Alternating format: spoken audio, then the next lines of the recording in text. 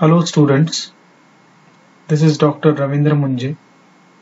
Today we will talk about a topic in unit number 4, part B of our subject Power Electronic Control Drives. This is a very small uh, presentation, rather video of about 10 minutes on a simple topic in part B of unit 4.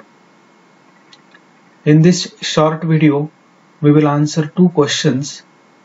The first one is why there is a need to select an appropriate rating of a motor for a particular application.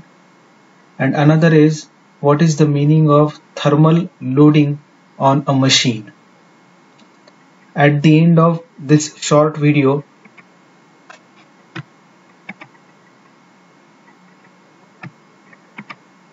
I'm sorry.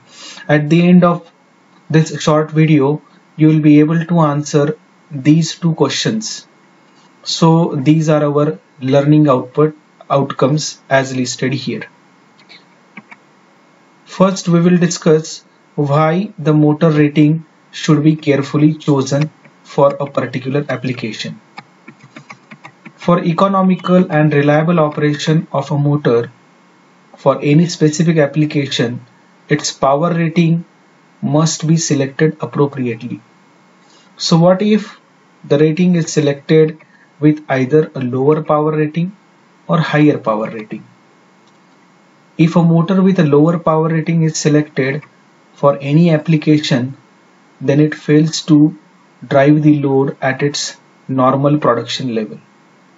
In other words, if a motor with a lower power rating is selected, it will be overloaded and may require frequent maintenance.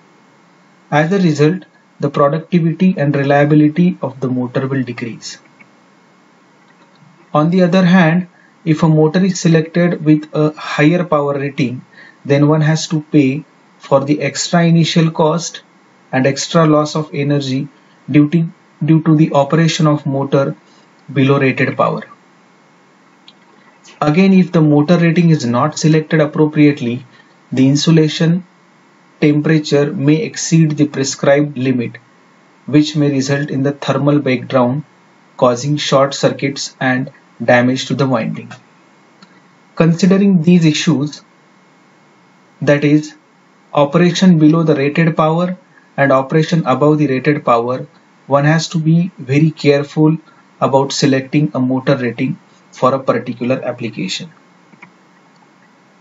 Now the second part of this video will focus on the concept of over thermal overloading on the machine. When motor is operational, several losses occur such as copper loss, iron loss, friction loss, etc. These losses generate heat inside the machine. This increases the temperature of the machine. As the temperature of machine increases beyond ambient temperature, heat flows out to the surrounding medium. The heat flowing outside to the surrounding medium is directly proportional to the temperature rise in the motor above ambient value. As motor temperature rises, heat outflow increases as a result an equilibrium is set. Equilibrium means the heat generated is equal to heat dissipated. The motor temperature then reaches a constant value or a steady state value. This value depends on power loss which in turn depends on the output power of the machine. As the rise in temperature has a direct relationship with the motor output power, it is termed as thermal loading on the machine. So in this short video, we have seen the necessity of selecting an appropriate motor rating for a specific application and the concept of thermal loading on the machine. In the next video, we will talk about thermal model of the motor for heating and cooling. Till that time, goodbye.